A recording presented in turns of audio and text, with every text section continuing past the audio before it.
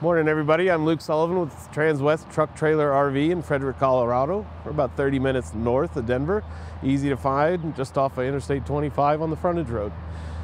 Today behind me, I've got a 2024 Norstar three-horse slant load bumper pull. Um, really well outfitted trailer, kind of stands apart from the rest. Got a charcoal finish on it. Before we get started on the trailer, let's take a quick look at the drawing just kind of go over some basics of it. It's uh, just a touch over 3,300 pounds empty, uh, very easily towable with your half ton trucks or your larger SUVs. Obviously, you need to know your specs and uh, look up your manufacturer specifications on your truck. But uh, it's a lightweight trailer, easy to get around, and seven foot one tall, six foot 10 wide, standard measurements for most Cimarrons. Uh, starting up front here at our bumper pull. Standard 2 and 5 16 inch ball, uh, manual crank jack. Uh, our shop is very capable and able and outfitted to equip this with an electric jack. Uh, if you're just not able to or don't want to bother, we can make life a lot easier hooking and unhooking with, uh, with an electric jack.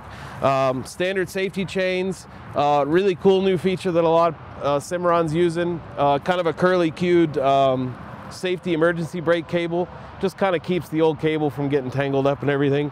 My favorite part, and it's just a really small little detail that Cimarron does, is put that little holder for your seven pin connection there. Great way to keep it out of the mud, great way to keep it out of the snow and ice, great way to ensure that you've got a good connection whenever you're hooked up to your truck and trailer. Make sure all your lights are working, make sure your brake, brakes are working just the way they should. So moving around, going over to our tack room, uh, this trailer has an RTG package, ready to go package. One of the options that that uh, gives you is an oversized tack room door. Uh, an oversized tack room door does a lot of things for you. With this particular case, we've got a swing out saddle rack and it gives you a lot of extra room there between the door frame, especially if you got your big Western saddles on there. You got some big long saddle pads on the top. It also enables you, while this is swung out and you're tacking up horses and loading saddles on and off of this, that you can get in and out of the tack room without having to swing this in or out. Uh, just gives you that extra bit of room, makes getting in and out of the tack room a lot easier. Uh, same with the step. Uh, a lot of these trailers come standard with just the running boards front to back. Uh, we stopped the running board there just before the tack room and added this fold down step. It's on a little gas shock, so it's kind of an easy close, easy fold open option. Won't slam up on you and ding anything. Um, really just kind of lowers that uh, step up height. So if you've got kids with you, uh, if you've got bad knees, um, just makes getting in and out of there a lot, a lot easier. Stepping on inside, we'll swing this back in. Straight away, you'll see rubber floor mats on the floor. I think these are a really great option. I know in my personal trailers, I've ripped out carpet. Uh, just holds a lot of stains, holds a lot of smells. The rubber mats you can pull out, rinse them off. If you're not doing that, you can sweep it out. You can come in here with an electric blower and blow it out. Uh, just, I think, way superior to carpet. Uh, moving on past the rubber mats, you can see we've got a full-size matching spare aluminum wheel, six spoke, just like what we've got on the trailer itself. Uh, great way to work it into your tire rotation program. Or if you do have a flat or blowout and you're not going to be rocking a mismatched spare, you won't have a steel wheel hanging out there with your aluminums. Um, moving past the spare up high, we've got a close, um, close bar Great spot to keep your show coats, your show shirts. If they're nice and pressed and clean, kind of keeps them out of the way of the saddle. They're not rubbing up against hairy saddle pads. Great way to keep them out of your truck and organized. Moving over here. This is a new kind of style that I'm just now seeing myself. Um, bridle racks from Cimarron. They're a lot deeper off the wall. If you want to hang a hose, if you want to hang electrical cords, if you want to hang your typical bridles and uh, halters and lead ropes, great spot for them. Very tall hooks, so stuff's not going to come falling off of there when you're bouncing down the road. Uh, a neat little feature that's uh, uh definitely, I think, a Cimarron staple now is the carpet on the wall as well. Uh, any of you that have got an aluminum trailer and have hung a bridle with a bit on a rack knows that you've got the half moon shaped marks from all of your metal contacting that, and it just kind of makes things look a little grungy. This is a great way to stop that. It's also a really good sound deadener. Uh, horses on the other side of this, they're not hearing that metal bang as you're bouncing down the road. And obviously, we're building horse trailers here, and we're building horse trailers, safe horse trailers. So, uh, just kind of the little steps like that that make the difference in the Cimarrons. Uh, kind of coming around to the side in the back corner, we've always got this kind of wasted space of um, wasted space, and we found a good way with High Country. They've built these 25 gallon water tanks for us. Um, if you're traveling down the road, making a road trip across the country, or or just a few hours down the road to go to a friend's, great way to to water your horses at a truck stop or a gas station. Uh, if you're going to a show and it's early in the season like it is now, and they haven't turned their water on yet, uh, great way and really convenient way to have water straight at your horses at the trailer. Uh, moving outside. Straight away, you will notice, let's close this up, it'll look a little nicer. This trailer's not white. This trailer is outfitted with an optional charcoal color. I think it really sets it apart. Um, just kind of breaks the mold of the typical white sheeted trailer. Uh, really nice, clean look to it. Look along the top, you've got your bus window in the tack room door. You've got an 18 inch awning light that'll light up. You've got three tow hooks or tie hooks for your horses along the side. That'll light them up if you need to tack or untack or, or cool them out before you head home after a long trail ride. Next, you'll see we've got these very stout and large drop windows. These are on both the head side and the butt side. And if you're in a hot climate, a humid climate, there is nothing like getting some airflow with these things. They are serious. You can see the amount of open space you've got. Uh, they do have bus windows in them, so if it's winter time and you want to control that heat a little bit more, they're easily slammed shut.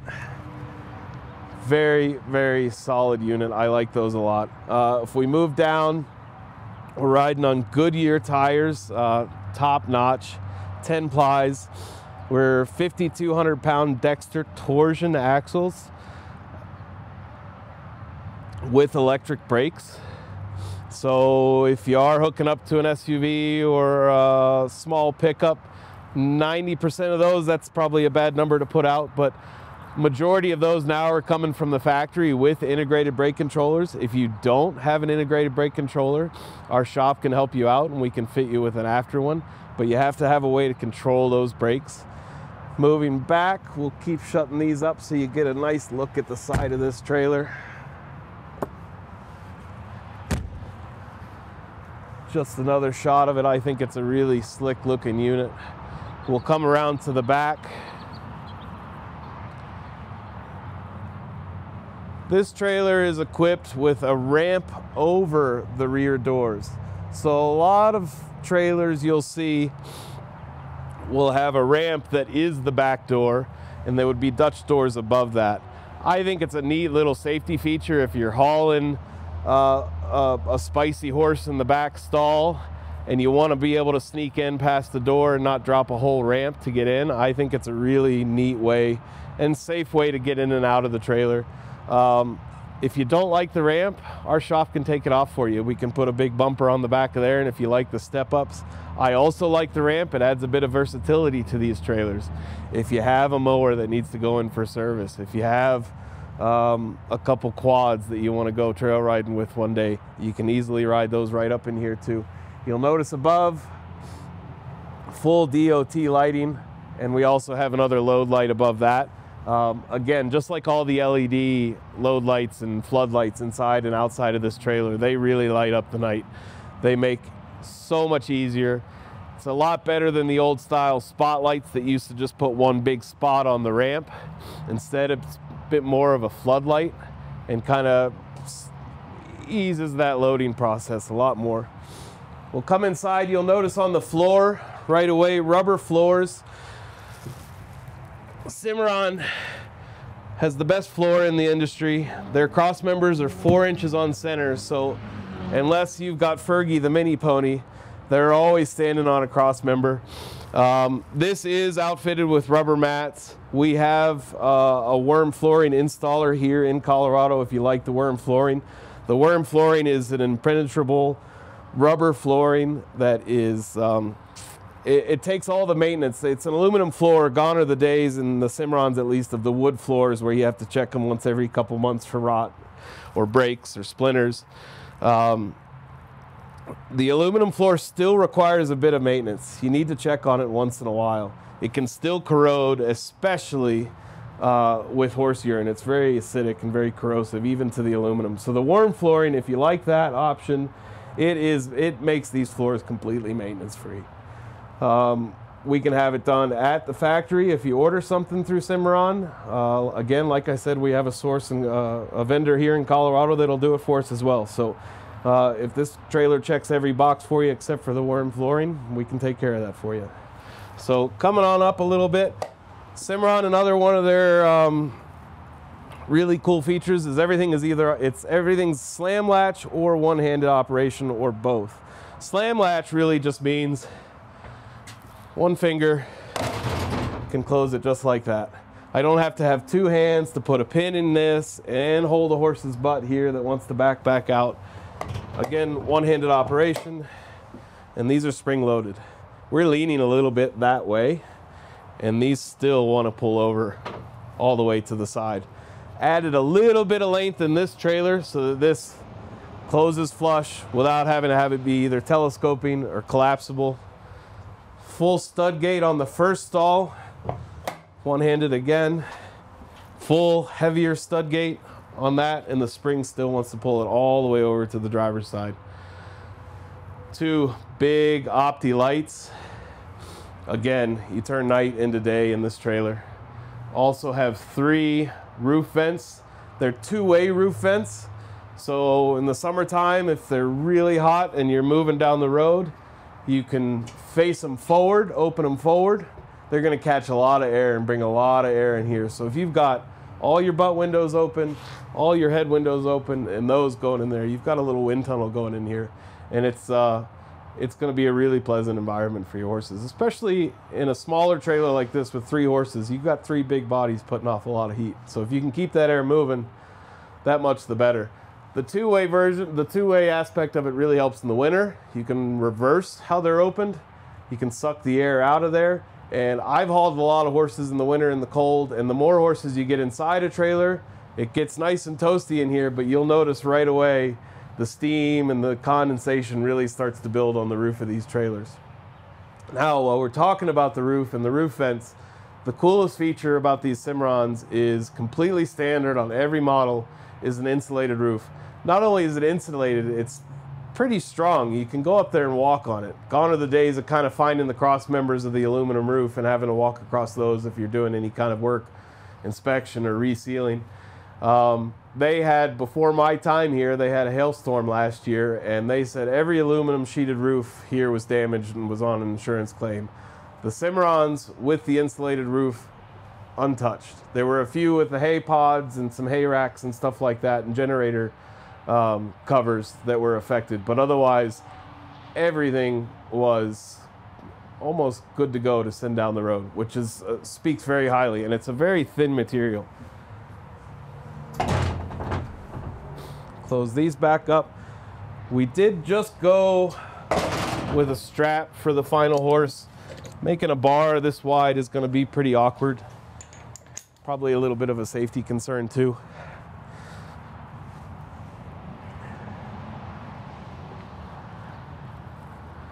Now we're coming over to the driver's side. Same deal. We've got three drop windows on the driver's side, on the head side.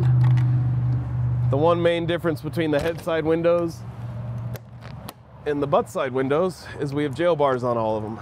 Obviously, you don't want your horse's head sticking out going 60 miles an hour down the interstate. These jail bars very easily come down no hardware, no latches whatsoever. Just a little groove they pop in and out of, just like that.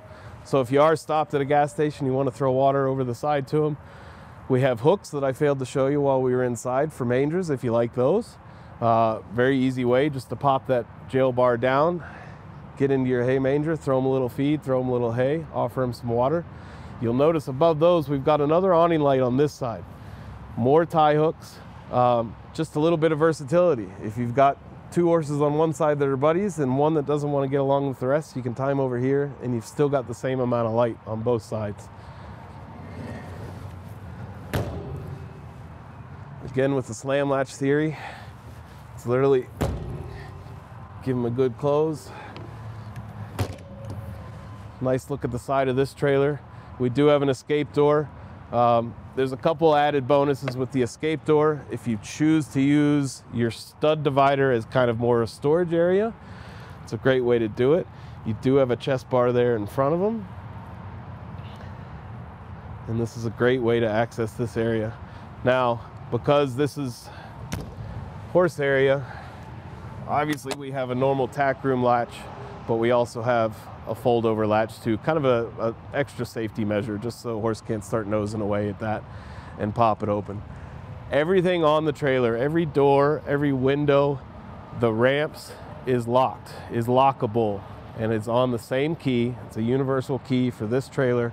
Will work every single latch you see on the trailer. Um, don't have to carry around a pile of keys for six different head and drop windows for two tack rooms and a, a tailgate as well. So uh, really nice way to keep things secure and um, get you one more good look at the charcoal on this one. I like it a lot. I think it stands out from the typical white. Um, if you have any questions, feel free to reach out to me. My name is Luke Sullivan. Transwest Truck Trailer RV. You can give me a shout on my cell phone, 859 509 1282. And before I forget, let's get you a stock number 5N240093. Thanks very much.